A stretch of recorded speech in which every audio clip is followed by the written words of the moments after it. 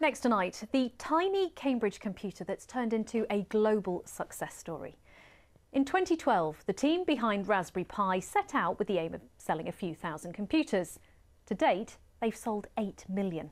In fact, it's now the most popular British computer ever made, as the BBC's technology correspondent Rory Cellan-Jones reports. High above London, a birthday celebration for the Raspberry Pi, now the best-selling computer ever made in the UK. Four years ago, the Cambridge team behind the bare bones computer expected to sell no more than 10,000 or so. Now, 8 million, mostly built in this factory in South Wales, have been sold around the world. And today, a new Raspberry Pi was unveiled. Here's the original Raspberry Pi launched four years ago today. And here's the latest version. Well, they look much the same, but this one has built-in Wi-Fi and Bluetooth, and it signals the project's move out of the classroom into the wider world. The original aim was to transform children's attitudes to computers, introducing them to programming. And since coding became part of the national curriculum, they're becoming more and more common in the classroom. More of them, though, have been snapped up by hobbyists, and the Raspberry Pi is also making its way into factories around the world. But the computer's creator says it is fulfilling its original mission. We thought we could make a few thousand of these. All we were trying to do was to improve the applicant numbers to the University of for computer science to the University of Cambridge, and we thought we could do that with two or three thousand units in the hands of the right people. And what have you achieved? Uh, we got to eight million. So at some point in the last month, we sold eight million units. Uh, we sold our eighth million, eight millionth unit, and that's taken us into first place. We're now the best-selling British uh, computer in history. Some have already found creative uses for the new Raspberry Pi like this 360 degree camera. I'm not sure it's a great look though. This Cambridge invention has unleashed a computing revolution, and it's not over yet. Rory Cellan-Jones, BBC Look East at the Shard in London. Well, as you saw there, the Raspberry Pi looks like a credit card size circuit board, but when you plug it into a monitor and keyboard, the possibilities are almost endless. Dr Sam Aaron from the University of Cambridge Computer Lab has created software to turn the Pi into a musical instrument. Earlier tonight, he told me why.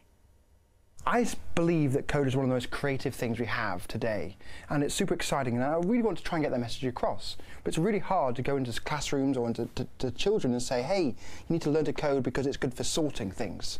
I think it's much more interesting to take it and say, "Hey, you can make some music or some fat beats," and that will engage them in a much more interesting way. Okay, so here it is. This is the Raspberry Pi. Yeah. Just show us how you can create sounds out yeah, of it. Yeah, so here we have this uh, the software. I write the word play because we can have some fun. I choose a number. I press the run button, and we have a beep. Right, I change a number to be higher, get a higher note. The I higher the number, the higher the note. The lower the number, the lower the note. Single notes like that are easy. Show yeah. us something a bit more complicated. Well, of course, then you might want to make a melody. So here I'm playing note 70 and waiting for a quarter of a second and then playing note 75. So I can make a melody, and if, if that's too fast, I can change it to be half a second, say. And so the code is triggering sounds that are programmed inside the Raspberry Pi, Absolutely. inside your software. Yeah, so my software emulates a full, uh, completely full synthesizer. So it actually generates all these sounds from mathematics within the system. How far can you take it? Could a DJ use this? Well, I mean, I actually perform in nightclubs and venues around the world using this system. I make more than beeps. I can play, make sort of drum beats and play those back. So that's a pre-recorded sample, but I can change the rate and make it more like hip hop or I can change it even faster, make it a bit more like dance music. Okay, right, so just by changing the rate I have different genres of music. When you and I were at school, that was pre-internet, yes. and yet here we are now with children learning how to code in classes. How important do you think that is? It's unbelievably essential, just as much as reading or writing is essential. It's not the same as reading and writing, they're very fundamentally different things, but reading and writing is an important thing to teach all our children, and I think code is going to be the same. It's going to allow children to express themselves in new ways. and It's going to be valuable not just for the workplace, but for their just general lives. This has got to be quite a challenge for teachers, though, I imagine. It's a very difficult challenge, yes. You have a lot of teachers who are now faced with having to teach uh, proper computer science, certainly in UK schools, which don't necessarily have the skills yet. And so we need to be, be, be really supporting them and, and, creating new kinds of software like Sonic Pi, which hopefully can uh, uh, provide them easy tools to engage children. Um, the actual Raspberry Pi itself, it's cheap, it's portable. Yeah. How instrumental do you think that gadget particularly has been in terms of, of spreading the idea of coding throughout the country? I think it's fabulously important because it lowers the barrier to entry. And I think anything that's, that makes it expensive or difficult provides friction for people to get involved. Whereas this is actually makes it super simple. If a child wants to learn how to program, it's a very affordable system to buy, and hopefully more people can have an opportunity to learn to code. Dr. Sam Aaron there.